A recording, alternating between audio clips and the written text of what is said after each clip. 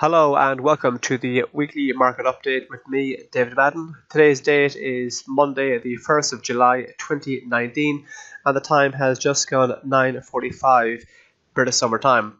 Uh, first things first, happy Canada Day to any uh, Canadian viewers out there. Uh, today's the 1st of July, so today is Canada Day.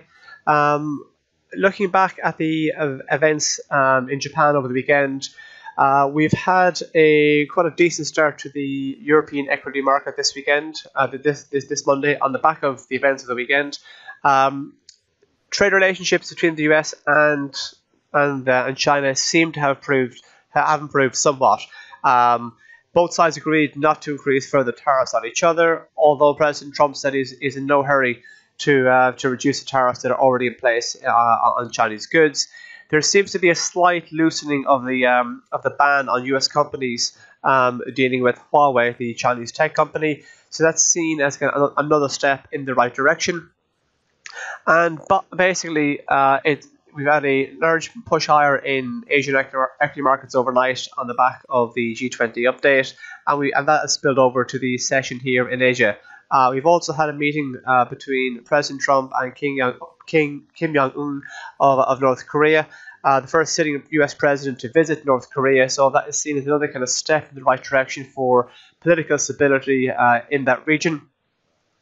Um, despite the fact that we've had um, disappointing and not, overly impressive manufacturing numbers, non-manufacturing and Caixin manufacturing figures out of China o- over the weekend, that seemed to have have have, um, have been, have been um, um, overridden by the fact that trade tensions between the US and China seem to have uh, de- decreased ever so slightly. But it is worth pointing out there are some major sticking points, uh, particularly in relation to intellectual property protection. Um, uh, you know, the, the as a way of smoothing things over, the Chinese government uh, committed to purchasing more agricultural vehicles, uh, agricultural machinery from the United States. Uh, but essentially, there are no amount of tractors and combine harvesters that China can buy that are going to actually uh, ignore the fact uh, the US are majorly concerned uh, about intellectual property protection over in China. Um, I'll take a quick look now at the week ahead calendar so we can have a, have a look at some of the major events of the week and then we can look at some of the uh, some of the major markets and what's been going on.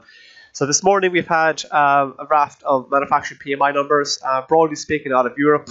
And we've had disappointing numbers from the UK, and they've been poor numbers from Italy and Germany as well. Um, tomorrow we have an industry decision from the Reserve Bank of Australia. Uh, we also have the OPEC meeting uh, runs for a couple of days, so the major oil producers are meeting um, uh, uh and are, meeting, and they're tipped to extend the existing uh, production cuts that are in place. Uh, this, by the way, the, the week ahead article can be found on our platform cmcmarkets.com under news and analysis, uh, and you'll, you'll find the week ahead platform, week ahead article. On the uh, on Wednesday, we have the various different um, services uh, services um, numbers coming out from major economies around the world. On Wednesday, we have we have figures out from Sainsbury's, the British supermarket uh, retailer. On Wednesday, we have full year figures from Purplebricks. On Thursday, we have full year figures from Superdry. Um, on Friday, International Consolidated Airlines have the June traffic figures, and on on Friday we have the all important U.S. non-farm payrolls report. And this is often seen as the most important economic indicator uh, of, the month. Uh, please keep an eye out for the kind of full details of the report. Uh, not only not only the headline figure, but also the unemployment rate, and more importantly, uh, what's what's becoming more important uh, to keep an eye on, on is the wage growth rate we're actually going to be holding a live non-farm payrolls webinar event on that particular day, covering the uh, covering the numbers and the market reaction. So if you go to cmcmarkets.com and under Learn, under Webinars and Events, uh, you will see it here on the 5th of July. So like I was saying, global equity markets um, have, have had a decent move to the upside on the back of the update on the back of the G20 meeting. Starting off with the FTSE 100, uh, we can see that the, you know, the market's been in a solid trend, upward trend uh, for basically the, the, last six months. The FTSE 100 has pushed on higher here. This morning, we've hit levels levels not seen since late April, so I give indication of how bullish things are looking. And if we and if we continue to press on higher from here, uh, should we take out the April highs, we could be looking at targeting this area here, um, a level not seen since late September, and that is 7,558. And if we go beyond that, we could be looking at heading up towards 7,600. I want to talk about this uh, blue line here, the 50-day moving average, which comes into play at 73.45, and it's quite uh, it's quite an important uh, metric to keep an eye for because we can see here on a few occasions in in, uh, in recent weeks and months, the metric acted as support um, throughout June, and that that metric, uh, well, just north of it, uh, acted as resistance in May. So we've seen a lot of movement in around that. we've seen a lot of movement in around that area. Uh, so it's possible if the market does manage to have a, have a drift lower, we could see support come into play at around 7,400 or perhaps from the 50 moving average itself in at 7,345. And even if you drop below that, uh, support could be found from this yellow line here, the 100 moving average. We can see that it managed to act as a support on a few occasions uh, in the last few months and uh, that comes into play in at 7,293. But the 50 moving average is particularly relevant because the, the FTSE is holding above its 50 moving average, and we'll, we'll see if we take a look at the DAX, the Dow Jones, and the S&P 500. They're all holding firmly above their relative 50, their respective rather 50-day moving averages. So we can take a look now on the uh, the DAX, the Euro market, Similar situation whereby the DAX has been in a solid upward trend uh, for the last six months. The, the highs here of today have uh, comfortably taken out the highs of, uh, of early May. We're back to levels not seen uh, really since since the uh, the back end of 2018. So give an indication of how bullish the DAX uh, has been. So if we continue to press on higher from here, we could be continue to press on higher from this area. We could be looking targeting this area here um, in around 12,740 and if you go beyond that, we could be looking at targeting this area here, last seen in July last year, uh, in around 12,887. If you do see a move to the downside in the DAX, this region here in around 12,400 uh, might act as support, or possibly this blue line here, uh, the 50 day moving average, which comes into play at 12,156. Like with the FTSE 100, as we saw a moment ago, uh, there's been a few occasions in recent weeks and months where the DAX, the, the DAX's 50-day moving average did provide support. And once again, if a metric has, provided, has been relevant in the past, it makes it more likely it will be so in the future. Obviously, there are no guarantees. Excuse me. So looking at the uh, the Dow Jones, the Dow Jones, after having by, by large, a large rally throughout 2019, had a fairly sizable correction uh, between April and early June, but you notice a steady uh, move to the upside, and we are expecting to be to be um, um, pressing on higher once the the cash session in New York uh, gets underway. We can see that the Dow Jones is comfortably above its uh, 200 moving sorry 50 moving average. This blue line here, uh, which comes into play just north of 26,000. And essentially, while we hold above that metric, um, uh, and it's likely we could see further gains coming in from here. So if we do look to press higher on the Dow Jones, we could be looking at heading, heading back up towards in around um, the kind of the, the highs of late September last year, not too far away from in around the kind of uh, 26,950 there thereabouts mark. And if you go beyond that, well, we could be looking heading up toward the psychologically important 27,000. It's only really if you have a, a break below this this area here, the uh, the 50 moving average just, just north of 26,000 could then we be you know be concerned that the uh, that the bullish trend has come to an end and we could see further move to the downside. Uh, we could see support coming in around the kind of 25,600 mark for coming to play where this trend line uh, comes into which this trend line comes into play. Take a look now at the S&P 500. So the S&P 500, uh, as you can see here, has, has, gapped higher over the weekends on the back of the optimism of the G20. Um, we're currently the S&P 500 could actually well open, um, could print an intraday all-time high uh, once cash trading gets underway, but that isn't for a few hours yet. So the, sentiment is clearly bullish in relation to US equities, and if you continue to kind of press on higher from here on the S&P 500, we're currently expecting the cash market to open at 2,972. If we continue to press on higher from here, we could be looking at targeting the psychologically important 3,000 mark. Any moves to the downside and the S&P 500 may attract uh, new, new buyers. Buying on the dip has been a, a popular strategy uh, in the last few weeks and throughout the wider 2019 period. So if the market does turn lower, support could be found from this area here in around 2,910, 2,900. Um, or possibly even from this, this blue line here, the 50-day moving average, which comes into play at 20, 2,881.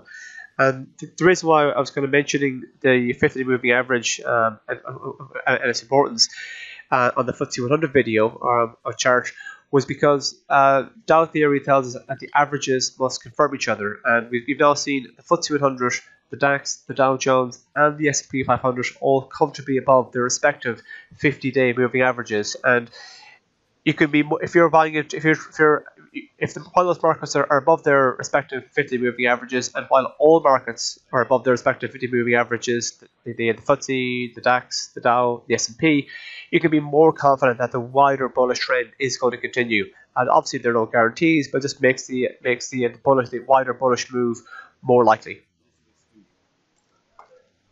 So, we've to kind of uh, show you the flip side of the coin, we've had a a reversal uh, on some of the kind of flight to quality assets. So last uh, last week we saw gold print a six. Sorry, uh, uh sorry, not, not, last week, but uh, yeah, and the last actually yes, it was last week. Apologize. Last week we saw gold print uh, its highest level in over six years. It got up to in around uh, 1439, but we have seen the, the, metal drift back a bit, drift back a bit the back end of last week. And in light of the, uh, the in light of the the news from the US China trade talks over the weekend, we have seen the metal gap lower. So the metal has pushed to the downside. There's been a steady decline in positive momentum. So we could see the gold market, uh, if we do break below um, 1382, if we do, do, do, uh, do drop below this area here, we could see uh, a further move to the downside in the gold, down possibly as low as 1360, or perhaps even down at this area here in around 1350, 1345. The wider upward trend and the fact that we hit a six-year high going to suggest that you know the market is quite bullish, and it is worth noting that the, the gold market rallied something in around in around the region of about nine percent.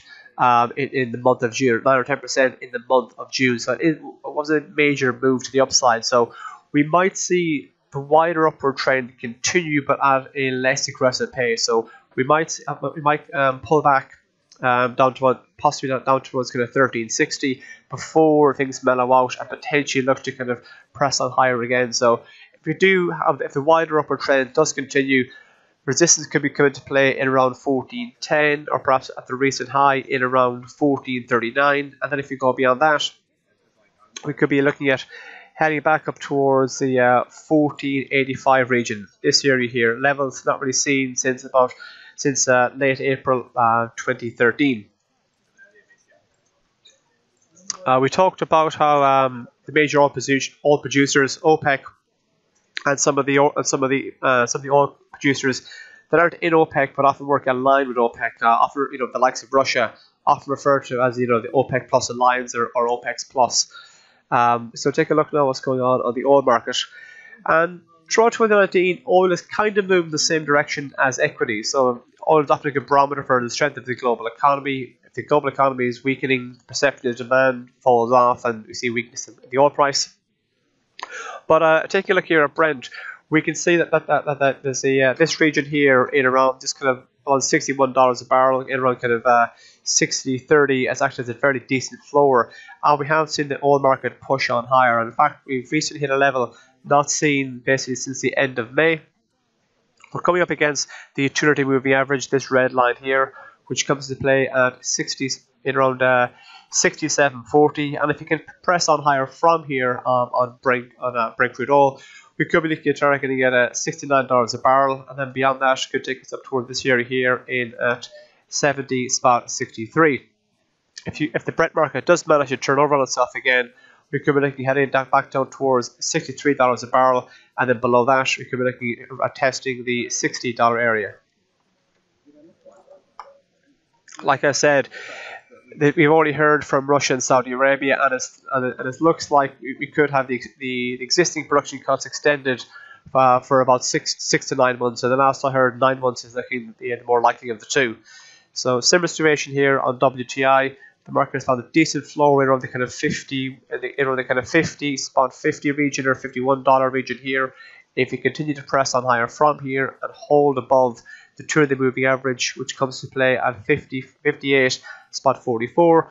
We could be looking at pressing on higher and uh, heading back up toward this area here in around 64. We can see in a few occasions as this consolidation in around $64 a barrel on, uh, on WTI.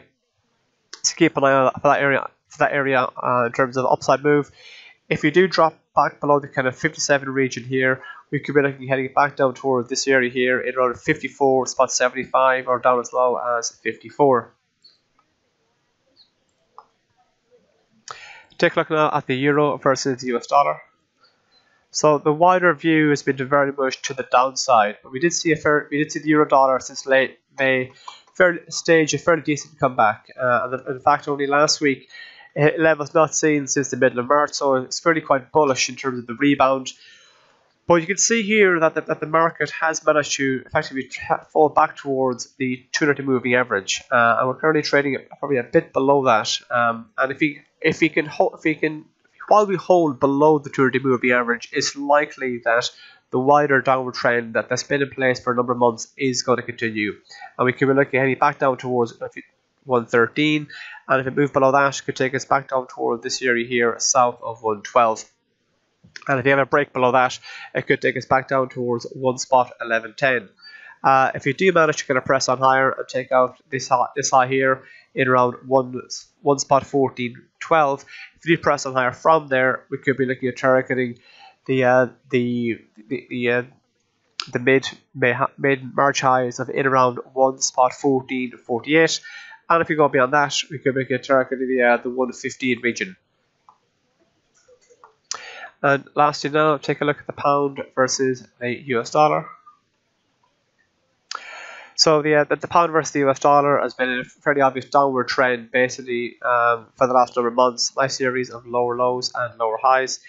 There was a move back up. There was a press higher um, in, in late June, but the market has seemed to kind of turn lower yet again.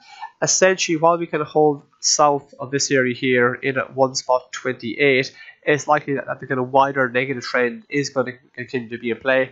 And if we do move lower from here, we could be looking at heading back down towards 126. And if you take out the recent uh, the, the lows of middle of June in at one spot 2506, we could be looking at targeting this area here, um, the lows of uh, December last year in at one spot 2476. It's only really if you have a size break north of uh, of 128 because then we look heading back up towards this red line here, the two-day moving average, which comes into play at one spot 29.18, and go and move beyond beyond that could take us up to the uh, psychologically important 130 mark. Uh, that's all for me this week. If you have any comments to make on this video or any of the other videos, uh, please feel free to leave a review or give reviews. Thank you very much.